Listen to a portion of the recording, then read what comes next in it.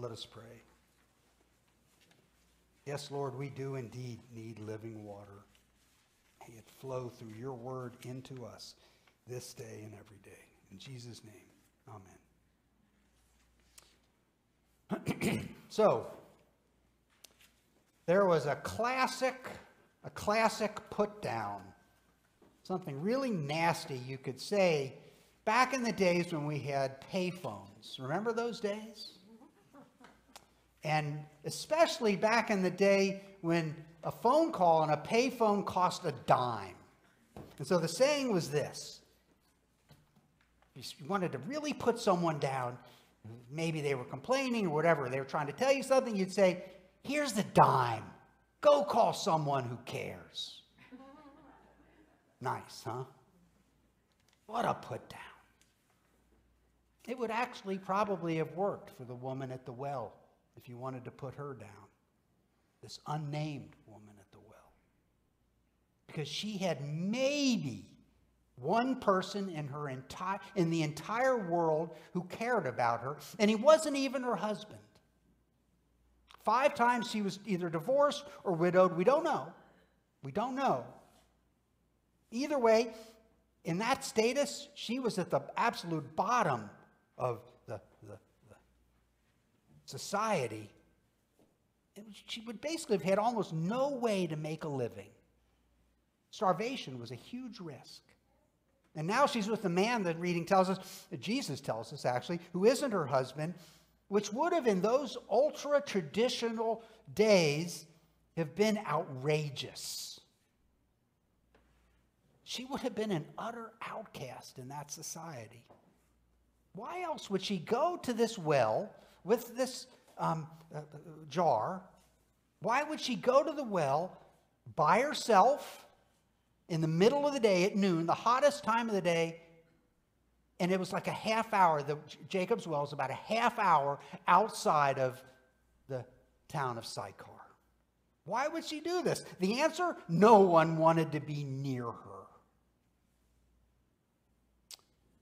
One of my seminary professors, named Obery Hendricks, he wrote a novel about this woman. It's called Living Water. And in the novel, Dr. Hendricks he takes, as novelists do, he took substantial license to imagine her life, especially her life before, but also after, but especially before she encounters Christ.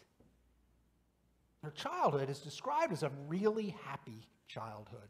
She was a little girl, and he beautifully describes it. He not just describes it, she lives it. You, you meet her, you know her. She had uncommon confidence and curiosity.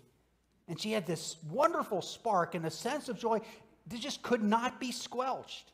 She had chutzpah.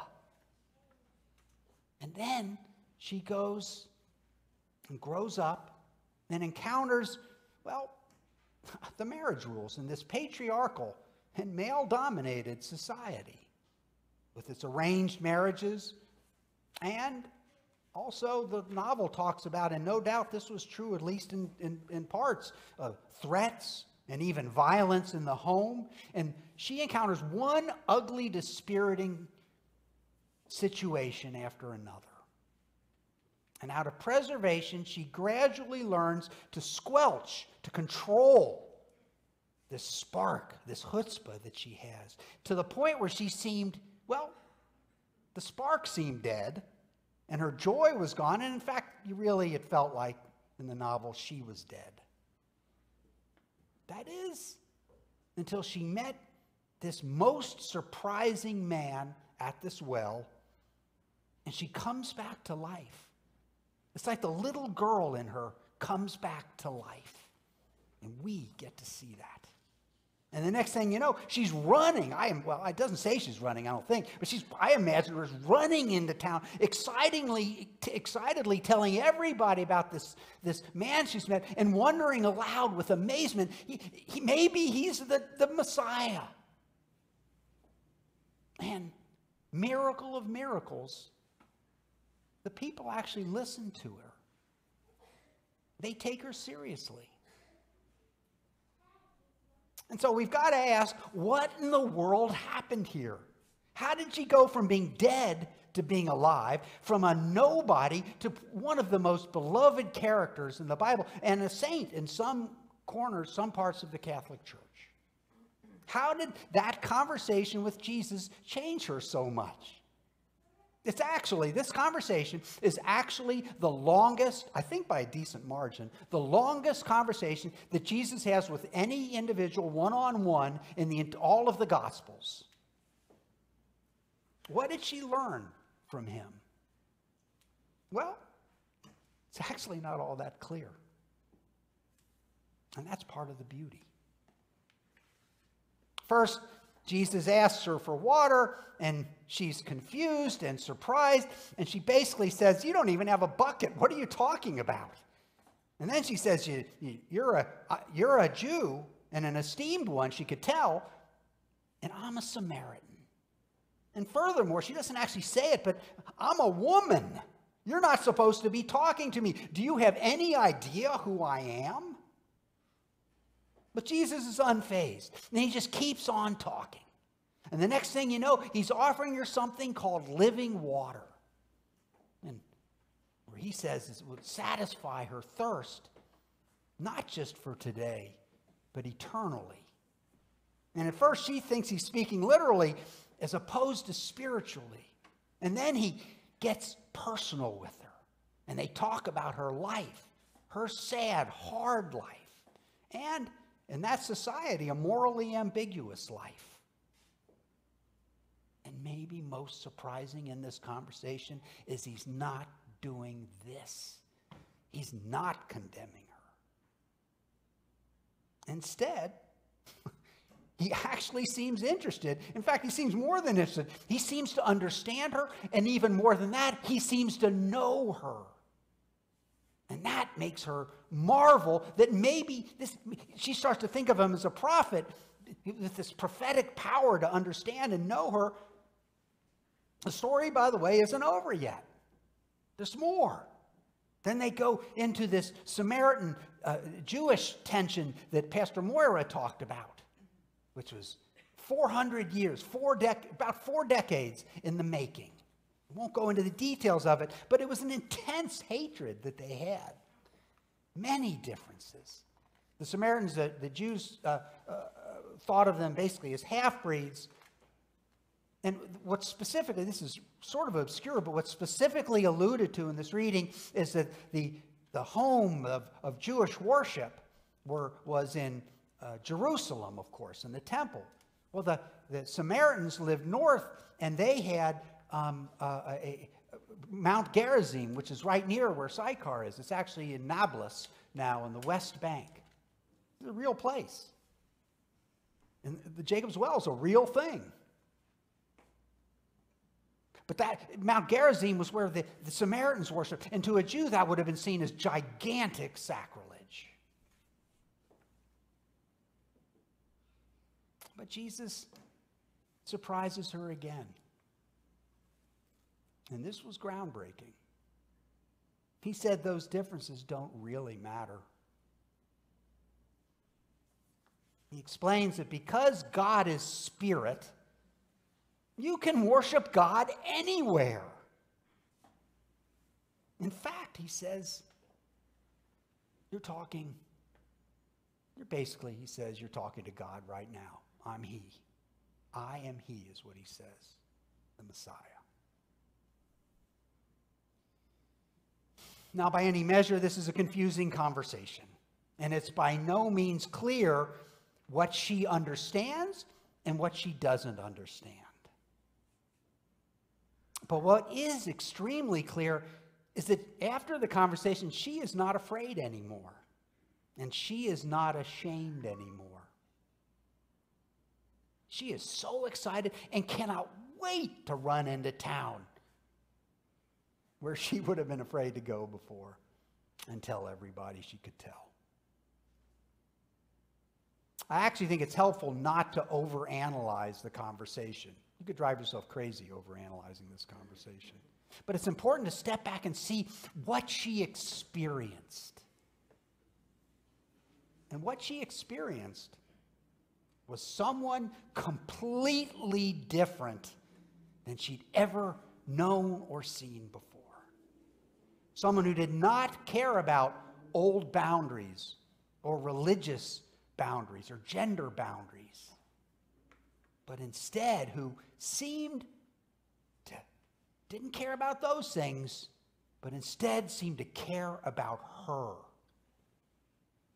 Whether she fully understood, understood everything he says, honestly, whether we fully understand everything he says here about living water and God is spirit, that, at least in this story, is not what appears to be most important. What she knew for certain instead, or not instead, but what she knew for certain, however, was that this guy brought a whole new outlook, helped her have a whole new outlook on herself and on the world, less harsh, less judgmental, more forgiving, more loving, more hopeful.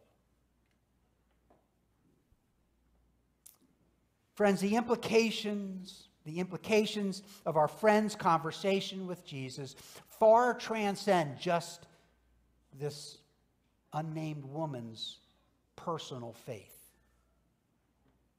What she saw, what she experienced, was a completely new way of seeing the world that didn't obsess over old taboos or old hatreds. A world where it actually didn't matter that she was a Samaritan or a woman or divorced or whatever taboo it was at the time. All of this leads us, I think, in our time to ask but at any time, really, our time, to ask do we, to ask of ourselves and to ask of our society, do we,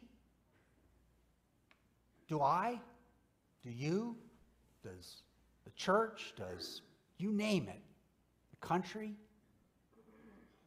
do we have the equivalent of Samaritans in our lives and in our worldviews?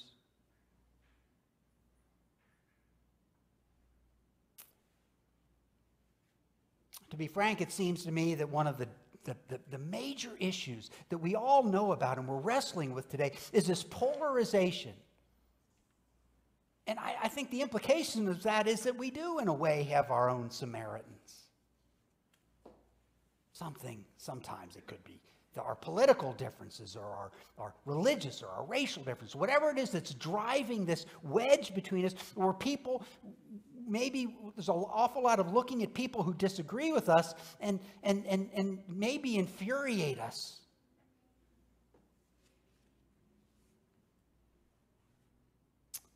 In this great story, Jesus diagnoses this stubborn human problem. It was then, and it's now. Division between human beings, what keeps us apart. And Jesus sets about dealing with it in the story in a really basic and I, I, think in a way a surprising way he does it by treating the other person, in this case the woman as well, by treating the other person as a person.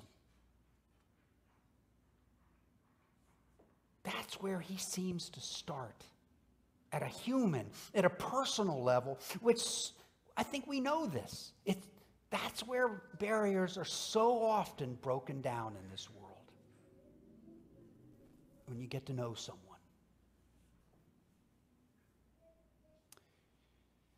Have you ever heard the expression, you can't get there. You cannot get there from here. You cannot get, you can't get there from here. Well, the best way, if you look at a map, to get from Judea or Jerusalem up to Galilee, which was the northern part where Jesus was from. And this is where he was headed in this story. He and the disciples were headed south, from south to north. The, by far the easiest, and you didn't want to go out of your way in those days because you were on foot. It was a long way to go, 125 miles. The best way to do it was directly through Samaria.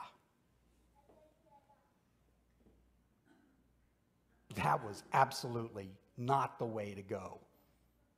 You were to avoid that at all costs.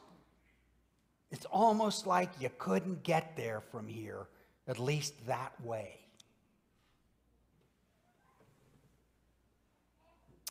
That's not the way Jesus thinks. And it's not the way I think he's telling us to think. He wants all of his, God wants all of his children. Jesus wants all of his children to find ways to get along and get along, and that could mean going through Samaria. Now maybe we might think that's asking for trouble. And anyway, with all of our divisions nowadays, with our with our bubbles that we maybe are stuck in or, or anger rising all the time, maybe it just seems like an incurable problem. It just seems you can't, it just seems you cannot get there from here. Hopeless. Well, Jesus did not see it that way. Jesus didn't see our unnamed friend he didn't see her life as, as hopeless. And I can't imagine he thinks that human beings getting along is hopeless. In fact, I think this reading is telling us a lot, but it's a, maybe the most important thing it's telling us is that we can. We can get there from here. We need hope. And Jesus gives it to us. Amen.